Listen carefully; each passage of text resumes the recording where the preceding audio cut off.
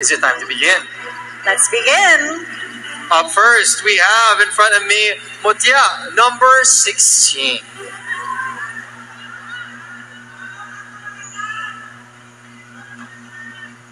Mutya, number 16.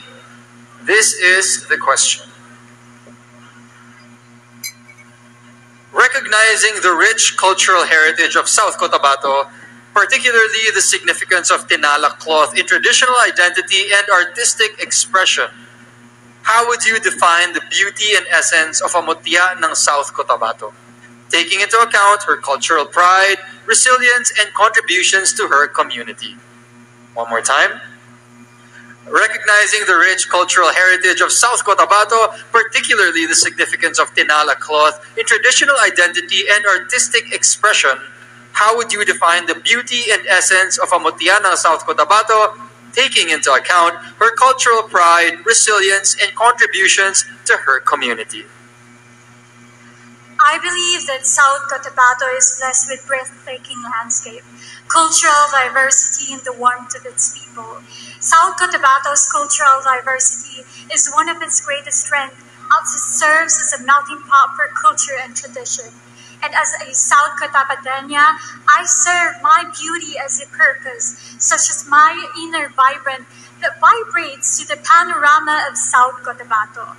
And truly, if we just reflect on South Cotabato's triumph and victory, we also take pride on understanding the importance of South Cotabato's beauty. And with this, we can make South Cotabato truly angat sa lahat. Thank you. Maraming salamat, Mutya number 16. One. Are you ready for the question? Yes. Yes, I'm ready. All right, here it is.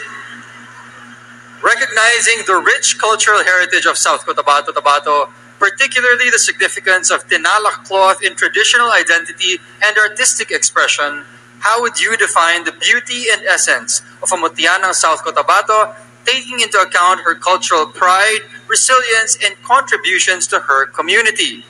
I'll say it again. Recognizing the rich cultural heritage of South Cotabato, particularly the significance of tinalak cloth in traditional identity and artistic expression, how would you define the beauty and essence of a mutya ng South Cotabato, taking into account her cultural pride, resilience, and contributions to her community?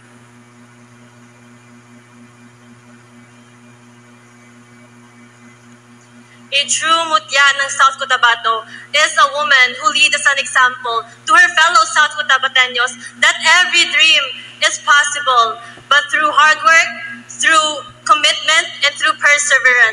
And as a student nurse, I believe that I'm still in the process of weaving my dreams to become a professional license someday. And if I were to have a ultimate goal for South Cotabato to showcase its cultural heritage, not just for our whole country to see, but for the whole universe. With that being said, I want to bring South Cotabato in the stage of Miss Universe eh, because it's a high time that an empowered South Cotabateña show the best of South Cotabato. So much, Mutya, number one.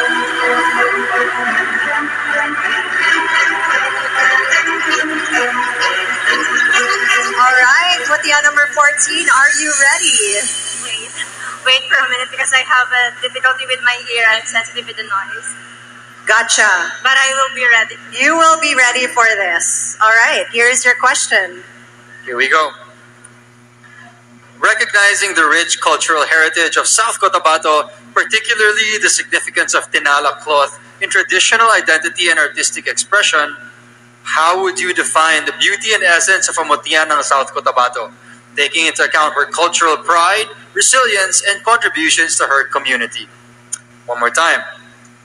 Recognizing the rich cultural heritage of South Cotabato, particularly the significance of tinalak cloth in traditional identity and artistic expression, how do you define the beauty and essence of a mutya ng South Cotabato, taking into account her cultural pride, resilience, and contributions to her community? Good evening, ladies and gentlemen. When I won as the Diwata ng Polomolok in our municipality, I conducted the Flom Kenya's Fem Focus with 350 participants. But now, as the Mutya ng South Cotabato, I will always go back to my history, and my contribution is to develop steward leadership with my fellow South Cotabateñas.